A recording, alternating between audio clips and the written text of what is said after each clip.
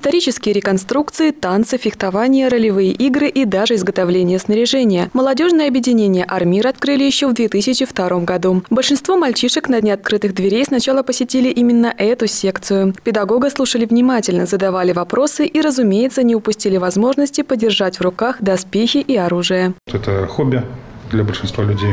Значит, это увлекательное занятие, а, во всяком случае, что касается танцев и а, исторического, фехтования.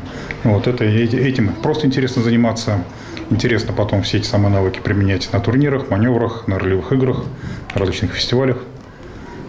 В общем, современное интересное хобби. Пока мальчишки рассматривали мечи и шпаги, девчонки заглянули в секцию собаководства. Их внимание привлек питомец, который, возможно, тоже станет частью объединения. Малыша зовут Рамштайн. А в секции силового троеборья работа вовсю кипит. Сюда берут ребят старше 11 лет. Помимо занятий пауэрлифтингом, педагоги помогают укрепить мышечный корсет и скорректировать фигуру. Мне помогали педагоги, объясняли, какие упражнения для чего надо делать.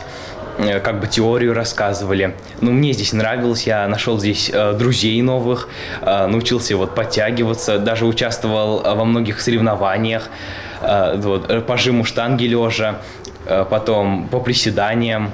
Получил первый юношеский разряд. Еще одно объединение, в котором ребятам понадобится хорошая физическая форма – секция настольного тенниса. Это очень полезный спорт. Он развивает зрение, реакцию и даже закаляет характер. Принимают в секцию юных саровчан 6 лет. А участники военно-исторического клуба победителей встречают гостей по уставу в военной форме. В основном мы здесь занимаемся просветительской деятельностью э, молодежи.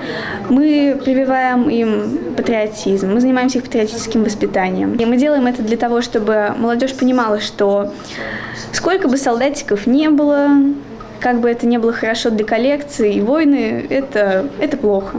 Войн быть не должно. Воспитанники клуба также принимают активное участие в городских мероприятиях.